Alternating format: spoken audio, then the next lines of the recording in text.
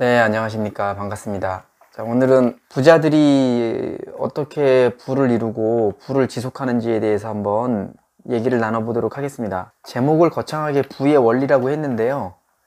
어, 물론 이제 좀 상식적인 얘기일 수도 있어요. 그런데 잘 들어보시면 사실은 우리가 근본적으로 놓치고 있는 부분이라고 생각을 합니다. 저는 부를 그 어떤 이루는 과정으로 생각하진 않아요. 그건 왜 그러냐면은 우리는 충분히 부를 이루었습니다. 우리나라는.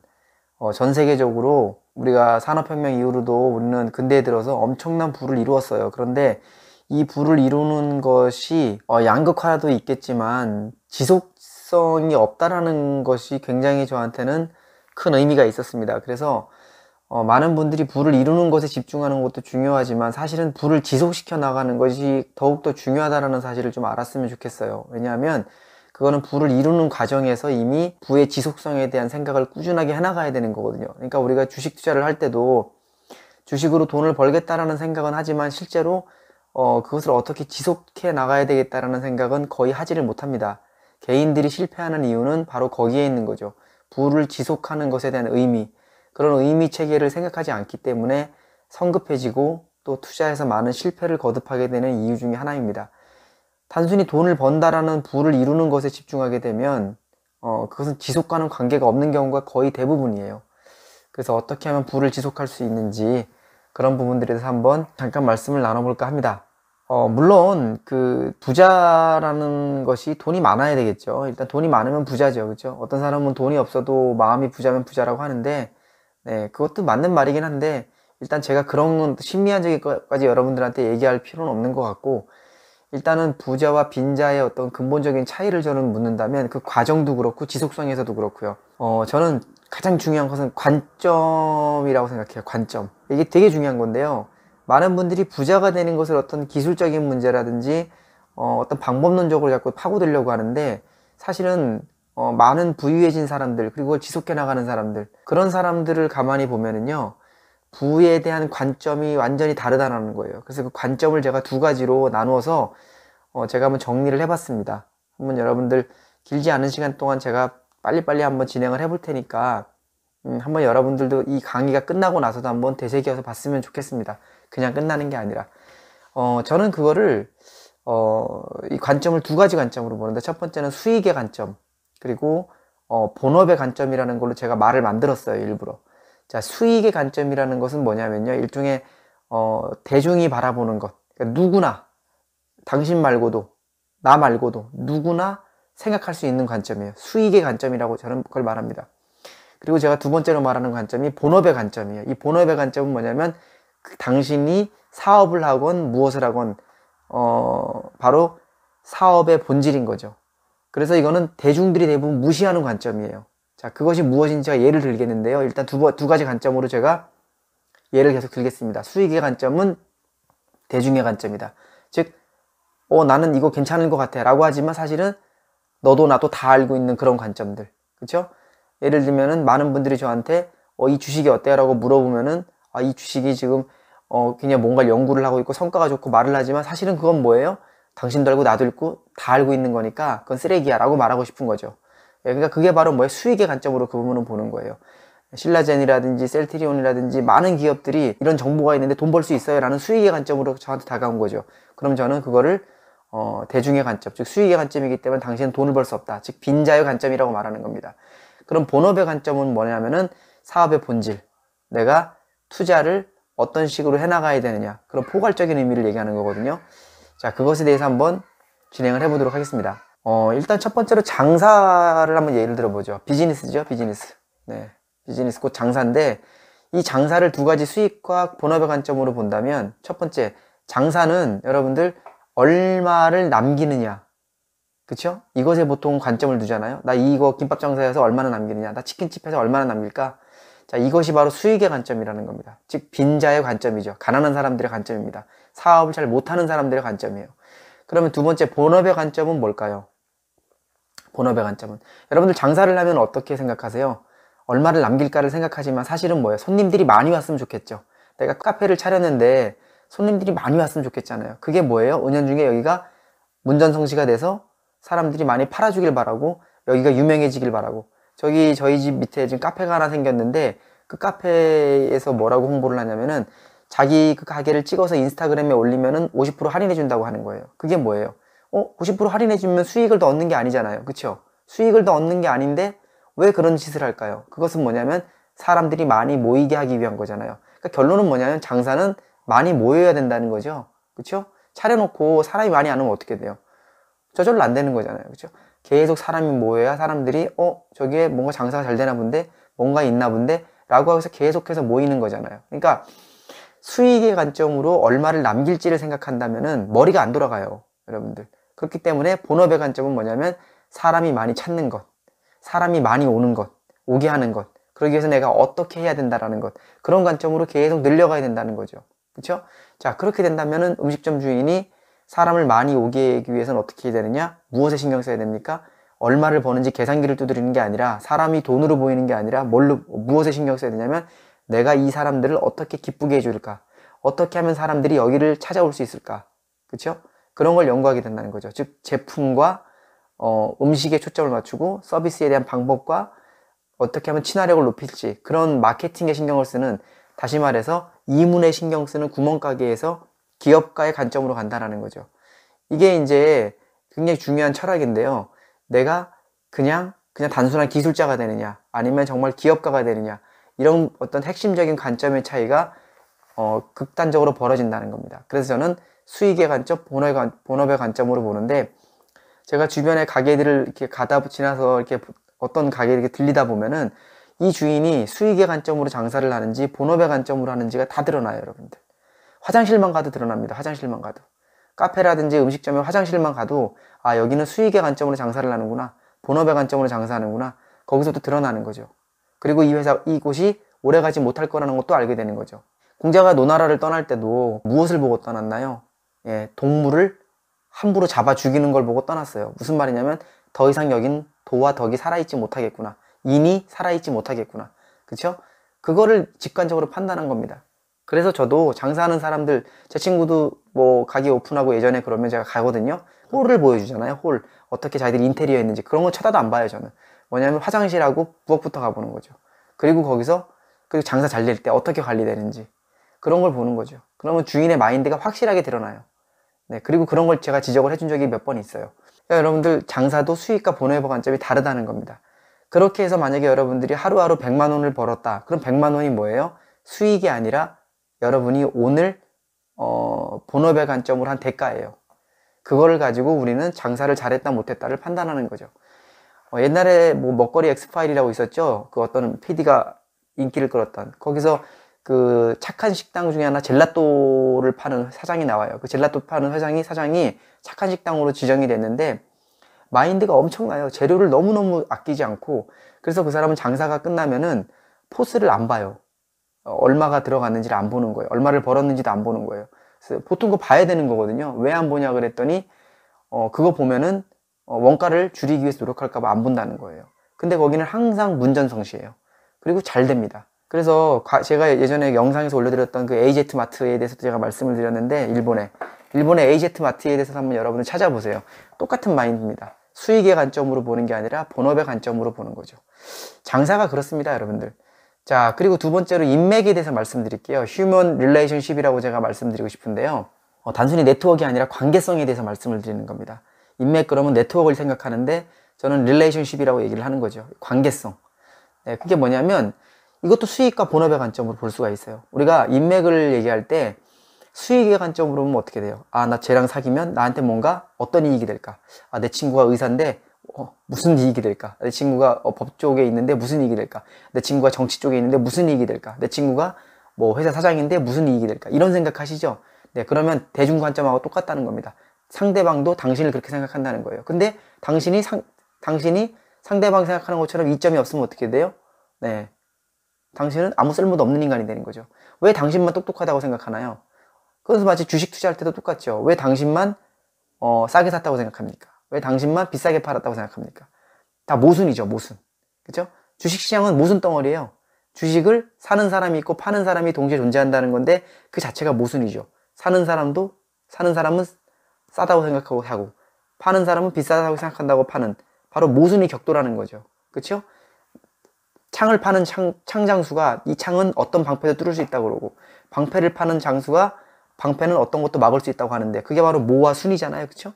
그게 모순입니다. 즉 주식시장은 항상 모순으로 결합되어 있어요. 왜? 대중들이기 때문에. 그걸 명심하셔야 돼요. 주식시장은 똑똑한 사람이 없습니다. 더 바보와 덜 바보가 있는 거죠. 무슨 소리냐면 인맥도 마찬가지예요. 우리가 사람을 사귈 때 어, 저 사람 나에게 무슨 이익을 줄 까라고 생각한다면 그 사람은 철저하게 대중이에요. 왜? 당신만큼 그 사람도 똑똑하기 때문에. 아, 바보기 때문에 혹은. 그러니까 나에게 어떤 이익이 될까로 인맥을 봐서는 안 된다는 거죠. 그럼 무엇을 봐야 될까요? 본업의 관점에서는. 간단하죠. 그 사람과 함께 도전하고 꿈을 꿀 수 있는 걸 생각해야겠죠. 결혼 상대도 마찬가지죠. 결혼 상대도. 결혼 상대도 하나의 relationship이잖아요. 관계성이잖아요. 그러면 여러분 똑같이 생각해 보세요. 내가 결혼하는 여자가 남자가 어, 나에게 어떤 이익을 줄까? 아, 나 저 사람에게 기대해 살수 있을까? 이렇게 생각하면 어떻게? 상대방도 똑같습니다. 상대방도. 예, 같은, 같이 생각하는 거예요, 같이. 그래서 그렇게 생각하는 사람이 둘이 결혼했다. 그럼 그 결혼은 굉장히 어려워지겠죠. 서로 그렇게 생각하니까. 연애할 때는 모르지만 결혼하고 나면은 어때요? 탁 규정이 되잖아요, 그게. 그러니까 수익의 관점으로 인맥을 봤을 때는 굉장히 힘들어지죠. 하지만 본업의 관점으로 저 여자가, 저 남자가 나와 살, 내가 어떻게 저 남자와 저 여자와 어, 새 삶을 도전하고 함께 꿈을 꿀 수 있을까라는 생각으로 한다면 자잘한 어떤 풍파와 어려움들은 거뜬하게 극복할 수가 있겠죠. 마키아벨리가 그런 말을 했습니다. 권력은 자신이 만든 것이 아니라면 지속되거나 권위를 가질 수 없다. 라고 마키아벨리가 군주론을 통해서 얘기를 했거든요. 네, 마찬가지입니다, 여러분들. 인맥이라는 것은, 어, 내가 누군가에게 무언가, 어, 내가 저 사람에게 도움을 줄 수 있겠다. 저 사람에게 도움을 주면은 저 사람도 나에게 도움을 줄 수 있을 거라고 생각하면서 가는 거죠. 설사 돈을 못 준다 하더라도 내가 도움을 줄 수 있는 사람으로 남아있다라는 것. 그것은 내가 권위가 있다라는 것이고 권력이 있다라는 것이거든요. 그렇기 때문에 인맥을 중요시하는 사람은 자기를 성찰하고 자기를 쌓아나가지 타인의 권력을 살려고 하지 않죠. 그렇죠? 네, 그건 굉장히 중요한 것 같습니다.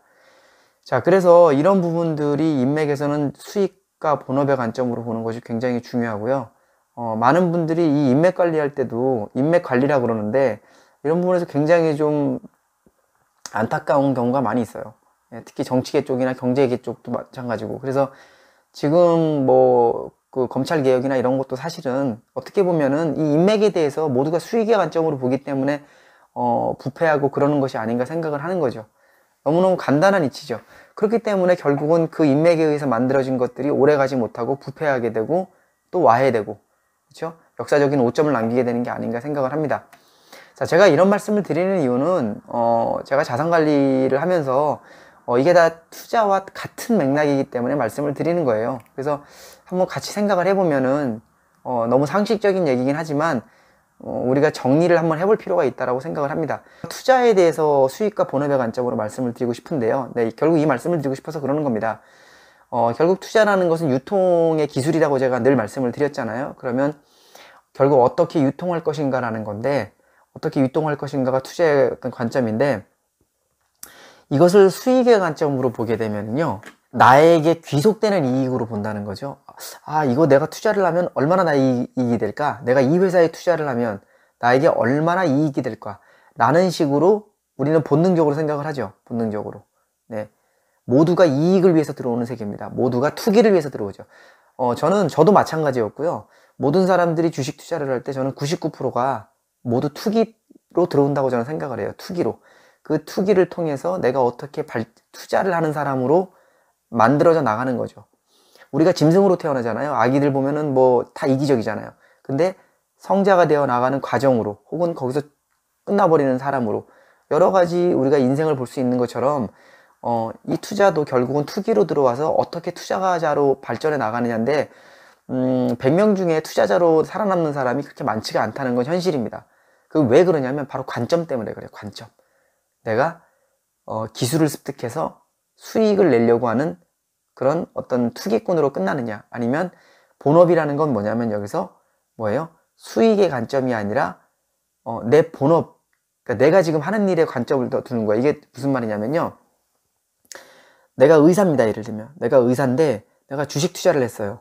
그러면 주식 투자에는 내 하나의 포트폴리오로 두는 거예요. 내 삶의 포트폴리오로. 그리고 나는 어, 의사로서의 본업에 아주 집중을 하는 거죠. 그 이유가 있습니다, 여러분들. 또 내가 식당 주인이에요. 식당 주인이면 어, 주식 투자를 한다 그러면 하나의 포트폴리오 관점으로 보는 거예요. 내 인생의 포트폴리오 관점으로.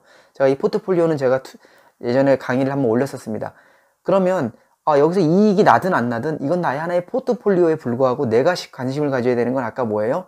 바로 장사의 관점으로 어떻게 하면 내 제품을, 내 음식을, 그쵸? 사람들에게 어떻게 하면 서비스를 잘할 수 있을까? 여기에 집중을 하는 거죠. 절대로 이 수익의 관점을 건드려서는 안 되는 겁니다. 왜냐하면 제가 여러분들 투자의 비법을 하나 알려드릴게요. 투자의 비법을.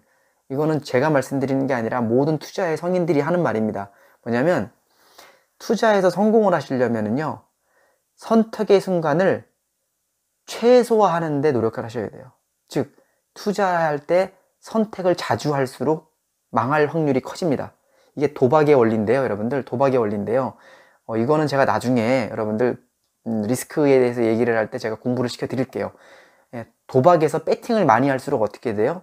계속해서 사람이 망가지죠? 똑같습니다. 투자도요, 선택을 많이 할수록 수수료와 세금과 그리고 판단력이 떨어지고요. 또 하나는 뭐냐면 선택을 많이 할수록 성공할 확률은 계속 줄어들어요, 여러분들. 이거는 통계적인 오류로도 나오는 거예요. 그렇기 때문에 투자할 때는 선택을 최소화하는 방법은 뭐냐면은 내 본업에 충실하는 겁니다. 근데 많은 분들이 거꾸로 해요. 선택을 매일매일 하려고 그래요. 매일매일 사고 팔라고 하죠. 그리고 매일매일 정보를 습득하려고 그래요. 자꾸 그 정보를 습득하면 할수록 어떻게 되냐면 선택을 많이 하게 돼요, 여러분들. 금융위기, 무역전쟁, 다 이런 말들이죠? 자, 이건 뭐예요? 여러분들에게 도움이 될까요, 이게? 절대 안 됩니다. 왜? 그것은 위기를 조장하는 것이고, 위기를 만들어내는 거예요. 위기 제조하는 사람들이에요. 그렇게 되면 어떻게 되냐면 그 사람들은 명예를 얻고 여러분들은 거기에 함몰되면서 자꾸 어? 올 거야? 언제 올까? 자꾸 어떻게 돼요? 타이밍을 생각하게 되고 나는 안 당하려고 그러는 손실 회피라는 행동 재무학적 오류가 나오는 거예요. 손실 회피가 뭡니까? 내가 투자를 하는데 변동성이 있어요. 변동성. 변동성이라는 건 뭐예요? 오르기도 하고 떨어지기도 하는 거예요. 근데 나는 떨어지는 걸 인정하려고 하지 않아요. 그럼 떨어지는 걸 회피하기 위해서는 어떻게 돼요? 떨어질 때 팔아버리는 거죠. 선택을 해버리는 거예요. 선택의 순간을 늘리는 겁니다. 올라갔을 때는 어때요? 또 떨어질까봐 또 팔아요. 하수들은 계속 팔기만 하는 거예요. 들어가서. 그럼 어때요? 거래 비용이 생기죠. 또 하나는 뭐예요? 떨어질 때 팔면 그 다음에 올라가죠. 올라갈 때 팔면 더 올라가는 일이 더 비일비재하다는 얘기죠. 왜? 그거는 상승 길이를 타고 하강 길이를 타는 거기 때문에 그걸 알 수가 없어요. 그렇죠? 그러니까 선택의 순간이 많아지는 거죠. 그러면서 자꾸 자기 돈은 계좌가 줄어들게 됩니다. 그러니까 투자의 비법은 별게 아닙니다. 선택의 순간을 줄이기 위해서는 뭐예요? 내 본업에 충실하는 겁니다. 더욱더 열정을 내는 거죠. 그리고 사회적 공헌을 하는 거죠. 더 열심히 열정을 갖고 해서 더 아픈 사람을 고치고 그리고 그럼으로 인해서 내가 의사로서의 어떤 사회적 공헌을 하고 식당 주인은 어, 좀 더 서비스를 잘하고 사람들을 기쁘게 해주고 건강을 신경 쓰게 해주고 그러면서 사회적 공헌을 해주는데 신경을 쓴다면 여기에 선택할 수 있는 어, 선택의 순간들이 최소화되는 거죠. 굉장히 중요한 겁니다. 장자가 그랬죠. 천하를 천하의 순기라고. 이게 뭐냐면 여러분들 시세를 시세에 감추라는 말들하고 똑같은 거예요. 뭐냐면 수익을 내기 위해서 수익을 버려야 되는 거예요. 수익을 내기 위해서 수익을 버린다는 것은 뭐냐면 선택의 순간을 최소화시키는 겁니다, 여러분. 그게 투자의 비법이에요. 투자의 비법. 그래서 절대로 여러분들 주식 투자에서 전업 투자를 하시면 안 돼요. 전업 투자를 하신다는 건 뭐냐면은 완전히 그 선택의 순간을 증폭시키는 거예요. 그것은 곧 망하는 지름길이죠. 물론 운 좋게 돈을 벌 수도 있어요. 하지만 뭐가 없어져요? 가장 중요한 사람이 사라집니다. 사람이. 이거는 무수하게 많은 많은 증명된 사례들이에요. 그래서 운이 좋아서 한두 번 성공하면 사람이 사라지고 자기 자신도 굉장히 질이 떨어질 뿐더러 대개 그 운도 없어요, 여러분들. 왜? 운이 계속 깎여 먹기기 때문에. 운을 계속 죽이는 겁니다. 로또를 여러분들 되는 사람들은요, 한 번만 긁어도 돼요. 근데 로또 천 번, 만 번 긁어도 되는 게 아니에요. 왠지 아세요? 천 번, 만 번 계속 도전하면 될 것 같죠. 근데 여러분 생각해 보세요. 그거는 바닷물에서 만 번 바가지 퍼낸 사람하고 한 번 바가지 퍼낸 사람하고 십만 번 바가지 퍼낸 사람하고 뭐가 다르나요? 바닷물이 주나요, 여러분들? 확률은 그런 거예요. 아무 의미가 없는 겁니다. 투자도 마찬가지예요. 여러분들이 횟수가 많아질수록 위험해지는 거죠. 그래서 아까 말씀드린 장사나 어, relationship, 인맥이라든지 투자라든지 이 모든 것들은 수익과 본업의 관점을 정확하게 인지를 하셔서 여러분들이 그 관점을 수익의 관점에서 본업의 관점으로 옮기셔야 됩니다. 그래야 장사를 하셔도 잘 되시고 물론 그렇게 되면 장기적인 장사가 되겠죠. 인맥도 장기적인 인맥이 되겠죠. 그렇죠? 투자도 장기적인 투자가 되어야 되겠죠. 우리가 장사를 사람들에게 서비스를 잘해주고 그 우노 다카시 예전에 말씀드린 적 있잖아요. 우노 다카시의 장사의 신 책을 한번 읽어보세요. 그러면 그 사람은 어떻게 해요? 적어도 1년은 버틸 수 있는 장사를 하라 그러잖아요. 왜? 1년 동안은 내가 그 서비스를 만들고 사람들이 찾아오는데 시간이 걸릴 테니까. 그렇기 때문에 어떻게 돼요? 어, 인테리어도 욕심내면 안 되고, 과도한 비용 지출이 되면 안 되고, 오직 서비스와 손님들에게 또 품질 좋은 것을 선, 해줘야 되고, 그리고 또 자기 마인드도 거기서 계속 훈련이 되려면 그만큼 버틸 수 있는 여력이 있어야 된다는 거거든요. 근데 사람들 어떻게? 장사할 때? 처음부터 오픈빨이라 그러잖아요. 오픈빨. 이거 굉장히 안 좋은 말이거든요, 사실은. 그러니까 오픈빨로 이기려고 그러고 길목 좋은 데서만 하려고 그러는데 장사의 신은 어때요? 길목 좋은 데가 오히려 더 안 좋은 곳이라고 얘기하잖아요. 자, 이런 것처럼 완전히 상반된 관점을 갖고 있습니다. 이런 부분들을 여러분들 일반인들이 스터디를 하지 않아서 그러는데 사실은 가만히 보면 저도 마찬가지고요. 굉장히 이거 중요한 부분이에요. 그리고 인맥 관리도 마찬가지입니다. 많은 사람들이 사람을 사귀는데 저도 주변에 그런 사람들 많아요. 친구들도 그런 사람들 많아요. 그냥 뭐 이렇게 수익의 관점으로만 보는 거죠. 제가 어떻게 하면 나를 활용할 수 있을까? 그 당시 상대방도 그렇게 하거든요. 저 같은 경우는 친구가 따로 없습니다. 네, 제가 도움을 줄 수 있는 사람이 차라리 친구죠. 그건 상대방의 어떤 수익의 관점에서 본업의 관점을 바꿔야 되는 거예요. 어떻게 함께 꿈을 이룰까? 지금 젊은 친구들이랑 저도 공부를 많이 하는데 그 친구들한테 저한테 수익 나올 게 하나도 없어요. 여러분들. 근데 왜 그래요? 같이 꿈을 꾸는 거죠. 그게 제가 보는 본업의 관점인 겁니다. 훨씬 더 멀리 갈 수 있거든요. 예, 이건 관점의 차이입니다. 당장 돈이라는 게 아니죠. 투자도 마찬가지예요. 투자도 얼마를 벌까가 아니라 변동성 속에서 잃을 수도 있고 딸 수도 있는 거예요. 예, 도박으로 말하면. 그 과정에서 내가 본업에 충실했을 땐 비로소 결국은 자본주의가 가져다 주는 혜택, 즉 인플레이션의 혜택이라든지 혁신의 혜택이라든지 그런 것들을 여러분들이 얻을 수 있다는 거죠. 너무너무 상식적인 얘기들이죠, 여러분들. 장사든 인맥이든 투자든 모든 것이 동일한 이치로 움직인다는 것을 여러분들한테 알려드리고 싶습니다. 어, 근데 사람들은 대부분 본업보다는 이익을 쫓죠. 그렇죠? 그렇기 때문에 짧은 성공은 가능한데 결국 시대가 바뀌고 어, 시류가 바뀌면 그 시류에 따라서 부와 권력도 사라집니다. 그게 대표적인 예가 우리가 장영자 사건 아시죠, 여러분들? 장영자 사건. 어, 하루에 뭐 천만 원씩 쓰는 사람이잖아요. 1970, 80년도에. 그때 노동자 월급이요. 한 달에 2, 30만 원밖에 안 했을 때예요. 근데 하루에 천만 원씩 썼어요. 그 여자가. 예, 정말 미친 여자죠. 그쵸 근데 그 여자가 결국 자기 사이즈도 안 되는 그 부를 유지하기 위해서 결탁한 게 뭐냐면 권력이죠. 인맥을 그렇게 활용하는 거죠. 근데 그 인맥이 그쵸 독재가 사라지고 그렇게 됐을 때 그 여자도 같이 사라지게 되는 거죠. 그 여자는 지금까지도 정신을 못 차리고 있어요. 얼마 전에 인터뷰 보니까 자기가 당했다고 얘기하더라고요. 권력으로 자기 수준 이상을 지키려고 했는데 깨달을 수 없는 거죠. 제가 주식 투자를 하면서도 많이 깨닫는 게 뭐냐면 사람들이요. 20년, 30년 하고도 못 깨달아요. 장영자랑 똑같습니다. 자기들이 당한 거는 공매도 때문이고 대한민국 헬조선 때문이고 그리고 어, 우리나라 주식시장이 안 좋아서 그래요. 투기, 투기판이라서 그런데요. 여러분들 미국이야말로 투기판이에요. 여러분들. 예. 이 세상에 투기판 아닌 곳 없습니다. 다 투기판이에요. 다 투기판. 유럽은 아닌 것 같습니까? 다 투기판이에요. 일본. 앙드레 코스톨라니가 혀를 내둘렀어요. 일본의 투기판을 보고. 그쵸? 일본의 법을 보세요, 여러분들. 그 조용할 것 같은 놈들이 はいはい 하면서 어때요? 버블을 만들 때는요, 기도한 책의 버블을 만들어냅니다. 너무너무 이기적인 거죠. 전 일본 국민들이 그런 건 아니지만, 결국 뭐냐면은 다 투기판이에요. 다 투기판. 근데 사람들은 자기가 해온 모든 문제들이 자기의 문제가 아니라 장영자처럼 결국은 당했다라고 생각을 하는 거죠.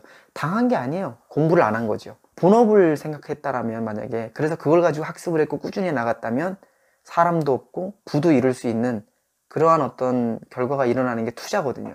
그래서 투자는 투자를 하기 전과 후가 같은 사람이면 성공한 게 아니에요. 돈하고는 무관합니다, 여러분들. 투자를 하기 전과 후가 어떻게 달라지셨냐고 묻죠. 그럼 대부분 어떠냐면 가장 성공적인 분들이 가족과 친화력이 높아졌고 그리고 내가 무엇을 해야 되는지 알게 됐고 내 삶의 방향성이 좀 더 다양해졌다. 이게 가장 많이 나오는 올바른 투자의 결과들이에요. 과정에서 나오는. 저는 그거를 투자의 성공 사례로 보고 부는 저절로 따라오는 거라고 보는 거죠. 우리가 지금까지 성장을 했지만 우리의 성장은 철저한 자기 반성이 없는 성장이었습니다. 이거 젊은 분들이 꼭 이해를 하셔야 돼요. 여러분들 또 과거에 우리 선배들이 했던 성장을 여러분들이 또 하려고 그러시면 안 돼요. 여러분들 그건 실패한 성장입니다. 그러면 왜 자기 반성이 결여됐기 때문에 그래서 지금 어, 50대 이후분들이 경제적으로 힘든 거예요. 자기 반성이 없는 부를 만들어 왔기 때문에. 돈을 안 벌었던 게 아니에요, 여러분들. 그래서 일본의 몰락은 아직도 진행형이죠. 우리가 일본 따라간 거예요, 지금까지. 일본. 일본을 계속 따라간 거죠. 본업을 즐기면 부와 더불어 진짜 가치의 중심인 사람이 모여들어요. 사람이. 그건 누구도 경험할 수 있는 겁니다. 부자들에게는. 진정한 부자들에게는요. 지속 가능한 부를 이루는 사람들에게는. 워렌 버핏 같은 사람 보세요. 사람이 따라가잖아요. 사람이. 예, 근데 자기 돈만 움켜잡고 있는 그런 사채업자들은 어때요? 사람이 없죠. 그건 부자가 아니죠. 스마트한 자본가라는 건 제가 새롭게 제시한 여러분들의 대안인데요. 스마트한 자본가는 사람 플러스 부예요. 그 어떤 것도 부가 없는 사람도 아닙니다. 예, 사람만 있고 부가 있는 것도 아니에요. 둘 다 같이 있어야 돼요. 그게 제가 생각하는 스마트한 자본가입니다. 정의라는 게 뭐예요? 힘이 있어야죠. 힘 없는 정의는 뭐예요? 약한 자의 변명이죠. 정의 없는 힘은 뭐예요? 강한 자의 폭력이죠. 부도 마찬가지예요. 사람 없는 부는 어, 그냥 꼰대예요, 꼰대. 부가 사람만 있고 부가 없으면 어떻게 돼요? 변명이죠, 핑계죠, 이거는. 예. 저작거리 시장에 사람들 많은 것처럼 거기서 뭐 다 어울리면 다 마찬가지죠. 그리고 우정이니 뭐니 하면서 자기들끼리 노는 거죠. 아무 의미 없어요, 여러분들.